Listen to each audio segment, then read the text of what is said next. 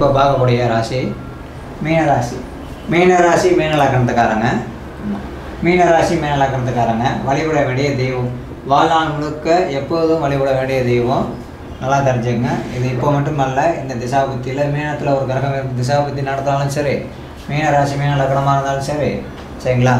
இவங்க திருச்செந்தூர் முருகனை நீங்கள் பிறந்த கிழமையிலையும் அங்குள்ள ப- அருகாமையில் உள்ள பைரவரை நீங்கள் பிறந்த கிழமையிலும் அல்லது வியாழக்கிழமையிலும் போய் நீங்கள் தரிசனம் பண்ணீங்கன்னா உங்களுக்கு உண்டான பிரச்சனைகள் நீங்கும்.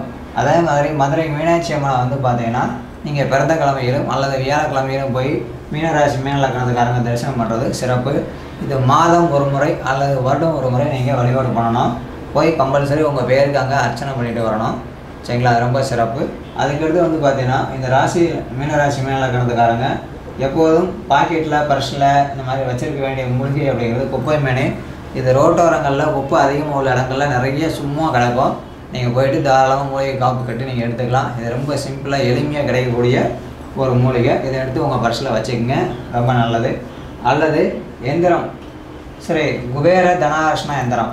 குபேர தனார்ஷ்ண எந்திரத்தை எடுத்து அதில் குப்பைமணியோடைய வேர் வச்சு தினசரி நூற்றி எட்டு மந்திரம் சொல்லக்கூடிய இந்த மந்திரத்தை ஓம் க்ளைம் சரி உத்ராய உத்ராண நமக.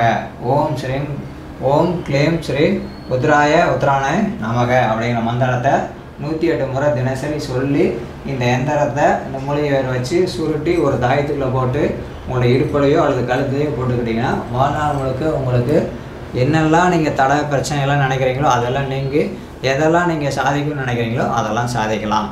இப்போ பன்னிரெண்டு ராசி இலக்கணத்தில் மீன ராசி மீன இலக்கணம். மேசம் முதல் பார்த்து மீன வரையும் முடிச்சிட்டோம். அடுத்து இப்போ இதெல்லாம் நான் இன்னொரு முறை ஆரம்பத்துலேருந்து கடைசி வரை சொல்கிறேன் நோட் பண்ணதில் ஏதாவது சந்தேகம் இருந்தது?